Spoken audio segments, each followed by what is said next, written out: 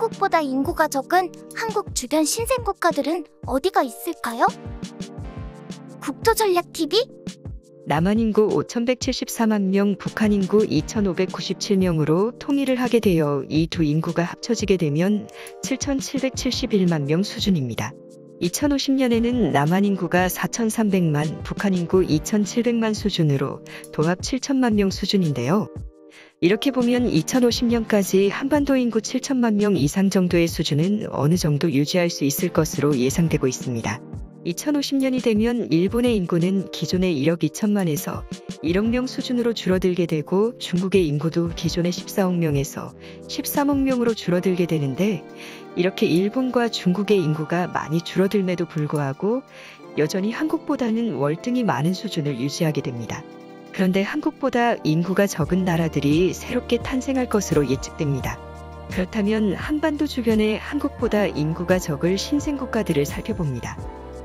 5위 극동공화국 인구 376만 명 2022년 12월 7일에 개최된 러시아 자유민족 포럼이 스웨덴 헬싱보리에서 개최됐습니다. 여기서 제안된 나라 중엔 한국과 가장 가까운 나라가 있습니다. 러시아 극동공화국입니다. 현재 이 논의는 단순 장난이 아닌 공식화되고 있는 모임이며 유럽의회의 지원까지 받고 있습니다. 그중 극동공화국은 과거 1920년대 있었던 공화국제 나라의 부활을 예고하고 있습니다.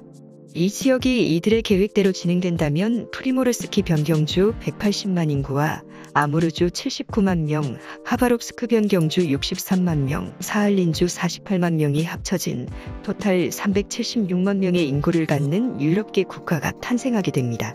이 지역의 인구 다수는 동유럽인들과 흡사한 사람들이 거주 중이며 사할린에는 일부 한국계 주민들이 거주 중입니다.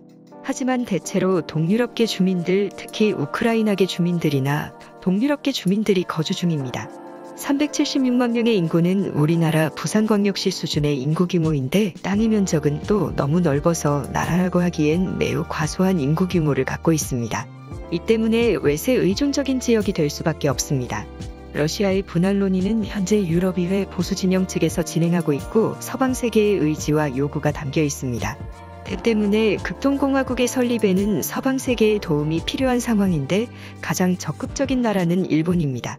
극동연의 주지방 사할린 일대의 패권이 일본으로 기울어질 가능성이 있습니다. 대표적으로 과거 일본령 영토였던 남사할린과 쿠릴 열도가 일본의 영토로 반환될 가능성이 최근 거론되고 있습니다. 그 지도가 현재 반영되고 있기 때문입니다. 하지만 과연 그것이 가능할지는 미지수입니다. 미국과 일본의 관계가 틀어질 수 있기 때문입니다. 그 때문에 한국의 역할이 새로 변화될 극동지방의 국제질서에서 매우 중요합니다. 민주주의의 가치를 심어줄 수 있는 나라이며 기술력과 경제력을 갖춘 나라가 바로 한국이기 때문입니다. 때문에 현재 한국에 들어와 있는 많은 고려인들, 사할린 한인들이 앞으로 큰 역할을 할 수 있을 것으로 기대되고 있습니다. 4위 산동공화국 1725만 명 한반도와 마주한 산동공화국은 웨이아이를 수도로 한 독립체제가 만들어질 수 있습니다. 토탈 인구는 1725만 명에서 2천만 명 수준이 될 것으로 보입니다.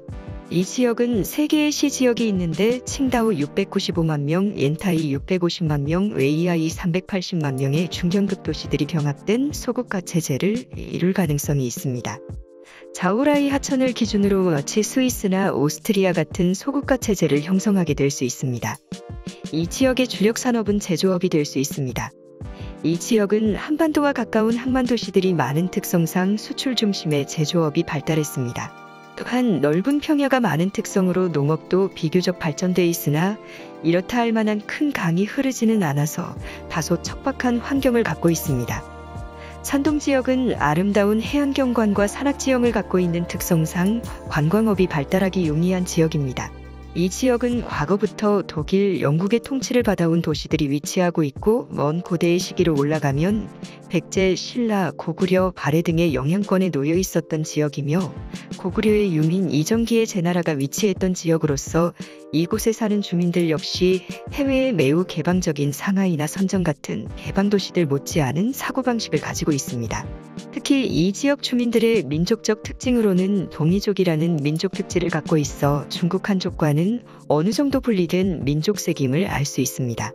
하지만 중국의 민족 구분에서 동이족이라는 민족 구분은 없어서 산동 주민들의 민족적 특질을 파악하는 것은 어렵지만 이 지역의 신체적 특색을 비추어 봤을 때 이 지역 주민들은 분명히 중국 본토 주민들과는 차이가 있는 민족색임을 알 수 있습니다. 3위 상하이 인구 2632만 명 세계에서 가장 작은 나라가 랭킹 33위 안에 들어갈 나라입니다. 면적만 6,340제곱킬로미터에 해당합니다. 그럼에도 홍콩보다 약 6배가량 크고 싱가포르의 약 10배가량 정도 되는 면적에 해당합니다. 심지어 룩셈부르크의 2배 이상 수준의 소국가인데 많은 상하이 주민들은 중국으로부터 분리된 독립국가 설립을 희망하며 세계 각지에서 독립운동을 펼치고 있습니다. 상하이의 인구는 거의 정확하게 한국의 서울, 경기, 인천 수도권 인구와 거의 비슷합니다. 서울 수도권 인구 2,605만 명 수준으로 상하이시 숫자보다 약간 적은 수준입니다. 문제는 상하이가 독립하게 될 경우 식량이나 식수 조달 문제가 생깁니다.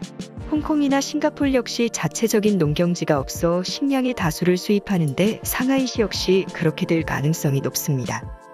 이는 세계의 식량 수출 기업들에게 큰 기회가 될 수 있습니다. 2위 호키엔남 공화국 인구 3,856만 명 대만성과 마주한 호키엔남 공화국에서는 구체적인 독립운동 집단이 활동을 시작했습니다. 대만과 마주한 푸젠성은 양안 충돌이 일어나게 될 경우 가장 치열한 전장터가 될 가능성이 높은 지역이지만 거꾸로 이 지역은 중국 대륙에서 가장 먼저 자유화될 가능성이 예상되는 지역이기도 합니다. 중국 시진핑 정부가 대만섬 침공을 실패하게 될 경우 대만 측이나 서방 측에서는 대만과 마주한 푸젠성 일대의 일종의 완충지대를 두려고 할 가능성이 높기 때문입니다. 인구는 3,856만 명의 지금의 남한 인구보다 적은 수준의 인구 규모를 갖게 될 가능성이 있습니다. 그러나 3,800만 명이라고 해서 적은 인구는 아닙니다. 다 캐나다의 인구가 3,800만 명 수준의 인구 규모를 갖고 있습니다. 그 호키엔남 푸젠성 일대에 들어서게 될 가능성이 높은 이 지역은 샤몬, 푸저우 같은 유명 대도시들이 위치하고 있고 해안도시 특성상 큰 무역도시가 될 수 있습니다. 문제는 이 나라는 산악지형이 대부분으로 한반도 혹은 대만섬보다 농사를 지을 만한 평야지대가 부족하여 인구 3,846만 명이 먹을 식량 수급을 위해 식량이나 자원의 측면에서 상당한 해외 의존적인 경제 구조를 가질 수 있습니다. 1위 남만주. 인구 6,440만 명. 중국 동북 삼성 지방. 그 중에서도 요하를 기준으로 남쪽 지방의 이른바 남만주 지방의 경우에는 묘령성 인구 3,104만 8,049명, 길림성 2,024만 7,186명, 흑룡강성 1,314만 8,208명으로 남만주 지방 토탈 6,444만 3,443명에 달하는 많은 인구에 그러나 통일한국 인구의 7,770만 명보다는 적은 인구 수준을 유지할 지역이 될 것으로 보입니다. 대부분의 민족은 중국 한족으로 구성될 것으로 보이는데 놀랍게도 이들 중 다수는 근 100년 사이 중국 본토 지역에서 만주로 이주를 해온 사람들입니다. 이외에 만주족, 조선족, 몽골족들이 이 지역의 원래 주민들인데 현재 메이저한 민족은 중국 한족인 상황입니다. 그러나 한자 교육과 중국어 교육 대신에 만주어 혹은 한국어 교육, 한글 교육이 이뤄지게 된다면 이 지역의 6천만 사람들이 중국 한족이 아닌 새로운 민족 구성으로 분류될 가능성이 있습니다. 놀랍게도 이 지역은 중국에서도 평균 신장이 가장 큰 지방으로 분류됩니다. 그만큼 이주를 해온 중국 한족도 호적상 한족이지 다른 민족, 즉 퉁구스 계통의 민족일 가능성이 있습니다. 이 남만주 지방의 주요 대도시 중에는 다롄, 선양, 장춘, 하얼빈이 있고 이외에도 신의주와 인접한 단둥, 그리고 연변조선족 자치주가 유명합니다. 만약 이 지역이 분리주의 운동이 일어나 별도의 국가화가 된다면 이 나라의 주요 산업은 석유산업, 광물산업과 같은 호주와 흡사한 천연자원을 바탕으로 한 1차 산업이 주를 이룰 것 같습니다. 이 지역에는 많은 석유, 세계 최대 마그네슘 광산, 철광석 광산 등이 있어 과거 만주국 시절부터 아시아에서 가장 발전된 공업 지역 중 한 곳이었습니다. 이외에도 백두산 같은 산악지대를 중심으로 한 관광업이 발달한 지역이 될 수 있을 것으로 보입니다. 이 지역이 분리된다면 인구 규모는 더 줄어들 수 있습니다. 많은 한족들이 중국 본토로 돌아갈 가능성이 있어 5천만 명에서 6천만 명 사이의 인구 수준을 유지할 수 있을 것으로 예측됩니다.